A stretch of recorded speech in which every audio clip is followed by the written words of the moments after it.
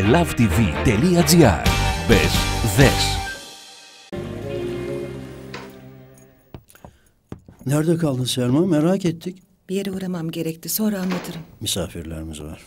Öyle mi? Evet. Merhaba, hoş geldiniz. Hoş bulduk.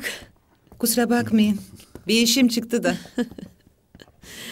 Asıl siz kusura bakmayın böyle habersiz geldik. Aa, aramızda lafı mı olur canım? hoş geldiniz. Hoş bulduk. Sen nasılsın? İyiyim. Selma hoş geldin. Hoş bulduk. Sesini duydum sana da koydum çay. Çok teşekkür ederim. Teşekkür ederim. Teşekkür ederim. Afiyet olsun. Al canım. Teşekkür ederim canım. Konuyu açmak için sizi bekledim Selma Hanım. Nasıl söylesem... Ayla yine yine iyi değil galiba. Nesi var? Bir karar vermiş. Evlenmekten vazgeçtiğini söylüyor. Aa, neden? Vallahi bilsek. E artık konuya girmenin zamanıdır çocuklar. Tabii. Ee, şimdi size söyleyeceğimiz şey sizi çok üzecek. Ama lütfen telaşlanmayın. Çünkü biz bu noktaya Yasemin'le beraber anlaşarak geldik. Her şeyden önce şunu bilmeniz gerekiyor ki biz Yasemin'le birbirimizi dost olarak çok seviyoruz. Ve bu hep böyle olacak. Şimdi mesele şu.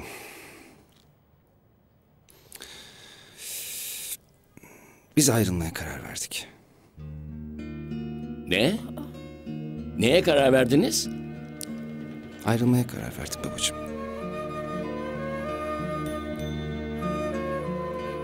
Abla, üzüldüğünü biliyorum Işık. Senin haberin var mıydı? Hayır baba yoktu. Çok Hayır. üzüldük Ahmet. Bilmiyorum ne yapacağız. Ben onunla konuşurum, ne olduğunu anlarız. Evet evet. Sizi dinler Selma Hanım. Ahmet de konuşur. Tabii tabii mutlaka.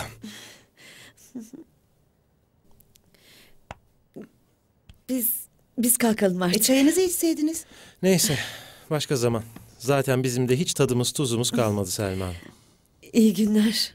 Hay Allah. İyi akşamlar. Buyurun. Ne oldu böyle aniden çocuklar? Biz de kör değiliz ya. Bir şey olsa görürdük herhalde. Ay bu nereden çıktı böyle? Çocuklar aklınızı mı kaçırdınız siz? Olmaz. Bir daha düşüneceksiniz. Evlilik çocuk oyuncağı değil. Üstelik minicik bir kızınız var, o ne olacak? Bir şey söylesene sen de Lale. Biz Necdet'le hep dost kalacağız. Rüya bu ayrılığı hissetmeyecek bile. Olur mu canım öyle şey? Cin gibi kız. Nasıl kandıracaksınız onu? Yok yok. Olmaz tabii.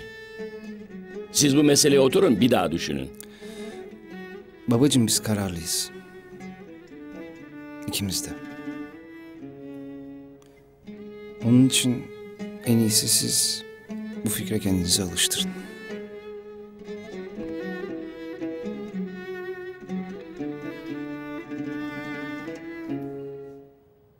Ne oldu anlayamadım.